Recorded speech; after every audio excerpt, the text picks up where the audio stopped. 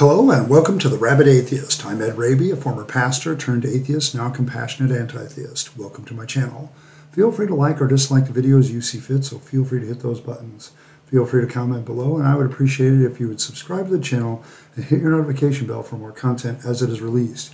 You're also free to share my videos as much as you like, because the purpose of this channel is educational in regards to atheist and deconversion issues, and any issues related to those issues. Uh, today I want to continue on my uh, deconversion story for the year of 2023, the 2023 edition. This is part 10. And today I want to, it's another one of these overarching themes like I did with science fiction and fantasy. I want to talk about how my Pentecostal days as both a Pentecostal believer and a Pentecostal pastor changed my view of Jesus. And this was a very important question. As many of you have already heard, if you watched this deconversion story through from the beginning, the life of Christ was a particular struggle of mine because Jesus Christ, when I was a child and a teenager, became my hero. But then the more I began to study the accounts of him, the more I began to realize that this may very well be a false hero, a hero that's made up, or a hero that's been embellished. And as I came to the end of my Pentecostal ministry, I, I, basically, as I said in my last video, I burned my card and I, um, my ordination card, and I just kind of uh, faded out. Uh, basically, the personal story is I went into depression again. Um, not quite as deep as with my father, but just very debilitating. I know that that's, I was just experiencing a lot of emotional things, a lot of sensory stuff, and I was just, my nervous system was just overloaded. Uh, the autism really kind of probably kicked in there, and I was just having a real hard time. Managed to find a, a job, basically, again, working for the world's largest brick and mortar again. And um, kind of back to where I started from before I went to my church one and church two, really. And uh, that was very depressing as well. But I had about a six month year time frame there before I started to be considered for another church that I'll talk about uh, my last church, my congregational church. Um, but I had about a year there or so, roughly, where I had plenty of time to reflect on my Pentecostal days, and a lot of the observations that I made at that time I still carry with me to this day. And as a believer, as a preacher, I can tell you that I saw a lot of things that were done in the spirit of emotion. Now, the first thing you need to recognize about a Pentecostal service is it's highly emotional. It's designed to gin up your emotions. You have the, the very emotionally laden worship music. You have the raising the hands and surrender. You have um, all this um, emotionally laden language. Uh, prayers are very much personally directed towards people. So you really develop this emotional, personal connection during the service. And in that, things would happen that would be interpreted by the people as miracles or de- casting out demons or speaking in tongues or uh, miracles of provision, deliverance, um, you know, just all the stuff. And as I began to look at that, okay, like I have seen personally. I, of course, I've done a video where I, I have, as an atheist, I've spoken in tongues. Uh, some people have concluded that that means the Holy Spirit hasn't left me and I'm still saved. And I'm like, oh, okay, whatever. I, I just demonstrated to you that you can make that stuff up, is what I've demonstrated. I don't feel that way at all.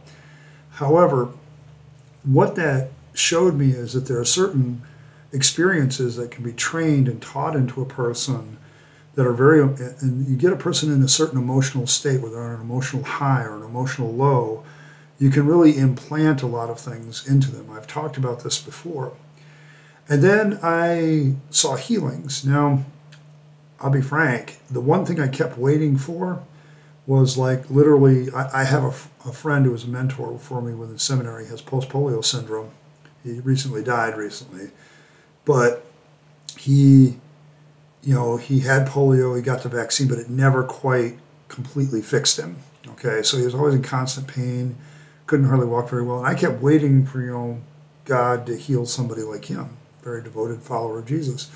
Uh, people that were blind, people that were missing limbs. Never saw any of that. Now, I tell you what I did see. I saw a lot of people, oh, I was just feeling so lousy. People prayed for me and I felt better. Um, you know, I had cancer. Um, you guys prayed for me. Real positive experience. I go back. The doctor says I'm in remission. You know, it's like there was a lot of things that when you really analyze the timeline, a lot of these people, like uh, cancer remission stories, were, were pretty common. But these people were getting prayed for 20, 30 times before it went into remission. And so, did it just go into remission? Became my question. Uh, but I never really saw any true miracles. Uh, never saw a leper, you know, become cleansed of his leprosy. Never saw anybody raised from the dead. Um, so nothing like that. And there was, you know, there's these phases that go through Pentecostal churches as a general rule, and you know, the name it and claim it, the blab it and grab it kind of thing, where you just you know speak that seed faith into existence, um, which I opposed even back then. Um, but I also, you know, the demon of this, like every demon thing that could be cast out was cast out, you know, and it's like, and then, you know, I would look at people that had certain medical conditions that looked like demon possession. I mean, is that really demon possession or just a medical condition? Um, miracles preserva- uh, you know, uh, provision, like all of a sudden we had enough of this or enough of that. And if you went and looked into it a little bit more deeply, some secret person had actually, you know, delivered that. It wasn't a miracle. It was somebody just felt sorry for that person. Oh, you know, I just, I mean, I went to the door. Our kids were hungry. I didn't have any groceries, and I opened the door, and there's like bags of groceries. I don't hear anybody driving the driveway. I hear everybody knock.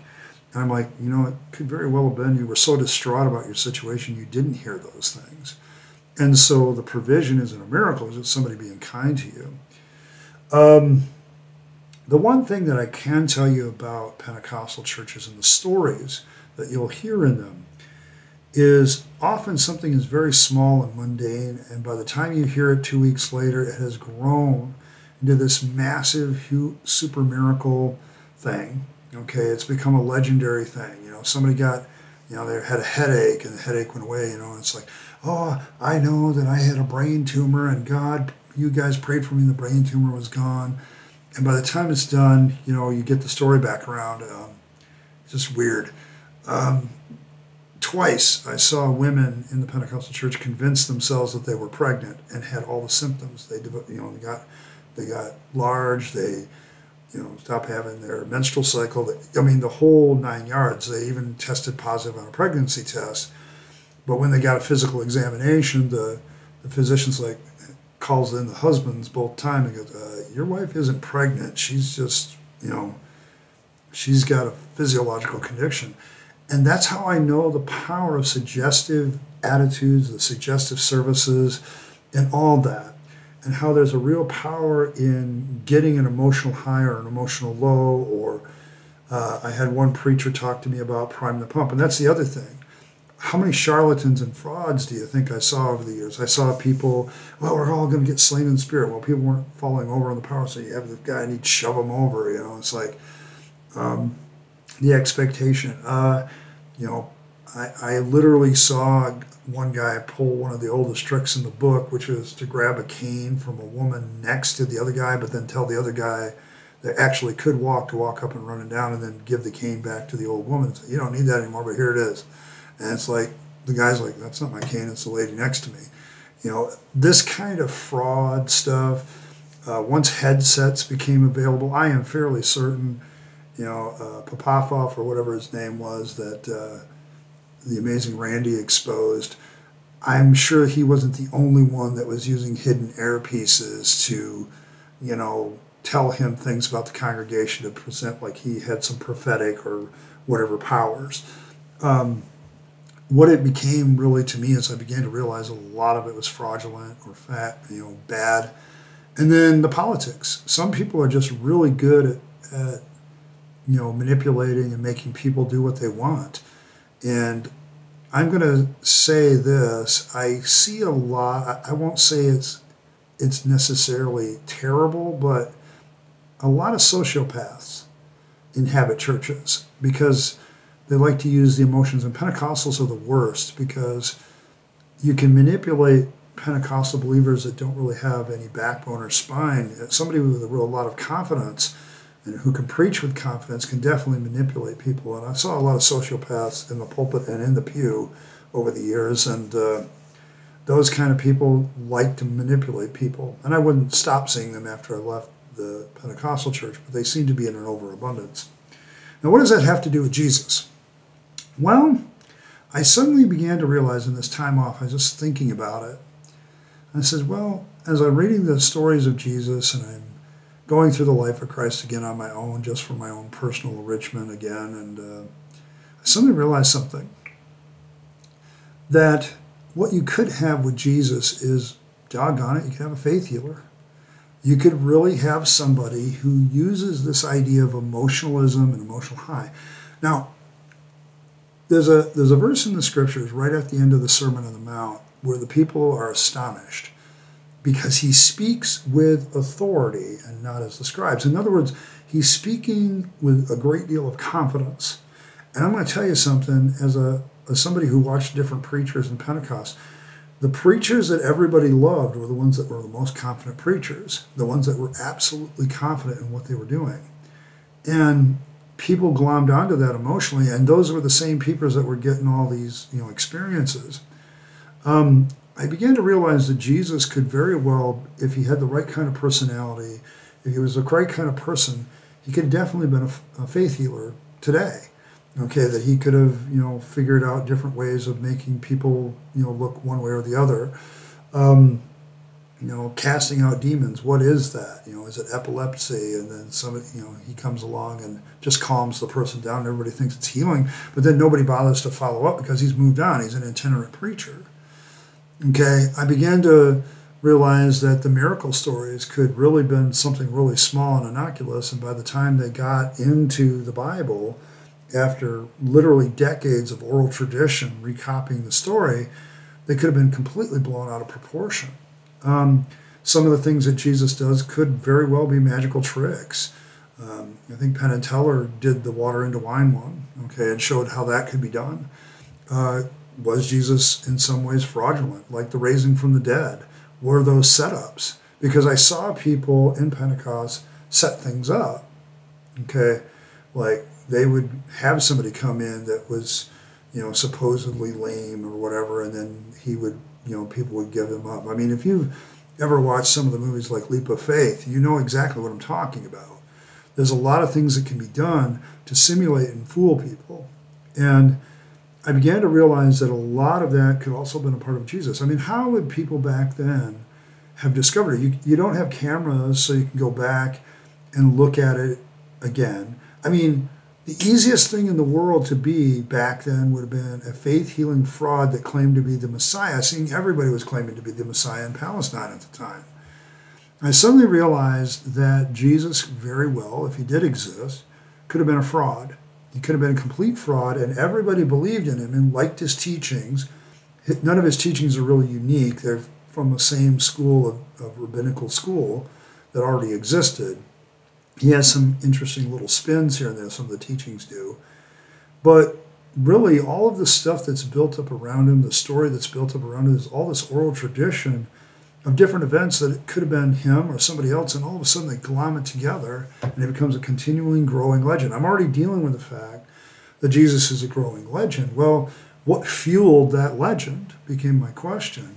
Well, what if he was just a faith healer? What if he was just one of these fraudulent faith healers that set things up, that made things look good, who also happened to be really good at people, who could get a following, could get people, you know, he appoints his 12. And, you know, that way nobody's really directly contacting him very often because he's got all these intermediaries between him and the people. And that is very, very suspicious because a lot of faith healers, a lot of people order their ministry that way because they don't want to directly deal with people because people can kind of pick up maybe that they're a fraud. And Jesus does this.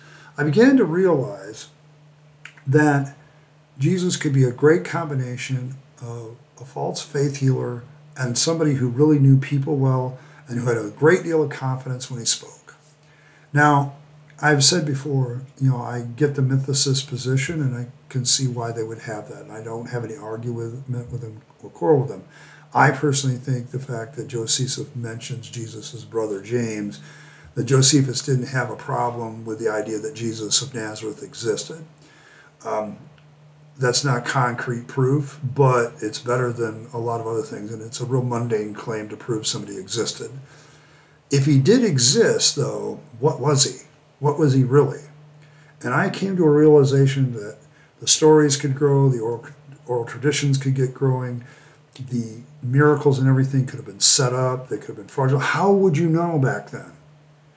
If Jesus was a, a magician in the sense of we think of like Penn and Teller and some of the other magicians, then how would we know? How would people back then know if those people kept their secrets and tried to pass them off as something that they were not?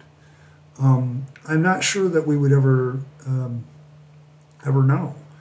And that was when I began to, as I, I moved into my last church, I began to really search for what proof do we have that Jesus is what he said he was, that's so concrete that I can get past these doubts and objections. Um, when I left Pentecost, um, this was some of the stuff that was going on through my mind for a year. I was really ready to give it all up, give up the whole, you know, preaching thing and go do something else. At that time, I was like 38, 39 years old. I could have easily uh, shifted into a different career, gone back to school then and shifted into a different career. And I had plenty of time to do better for my family and so on and so forth. But um, there would be a phone call that I would get that would convince me to give it one more try. And um, boy, there are days that I really wish I hadn't uh, answered that phone call. But I wanted to get this one out. It's a reflection on my time in Pentecost and how it began to color an, uh, a different understanding in my mind of who Jesus could have been. And uh, I'm thinking that uh, you know that began to change me. And as I went into my last church, I would discover that I had a lot more theological freedom. I had a lot more freedom in a lot of respects that I'll talk about in my next video. But I wanted to get this one out. I know I promised that I would do you know, congregational church. I'll probably do two videos on that, maybe three, uh, because there's a lot to that as far as my deconversion. That's where my deconversion takes place. So there's a lot of things going on in that final church that are really germane to the discussion of deconversion. So I'll get to that when I get there. But this is a video for today on some of the thoughts I had about Pentecostalism and how it colored my view of Jesus. And uh, so thank you for stopping by. I appreciate every like, share, and subscribe.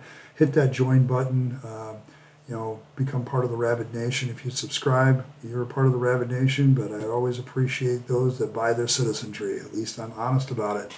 Um, and so thank you very much, and I appreciate each and every one of you. We're getting closer and closer. Um, every video I drop gets us closer. I'm moving to from three to four videos a week. I'm focusing more and more on uh, breaking things up and doing things in smaller bites. So thank you very, very much for your patience as I make all these changes. I appreciate it. Uh, thank once again for stopping by, and I'll uh, catch you next time.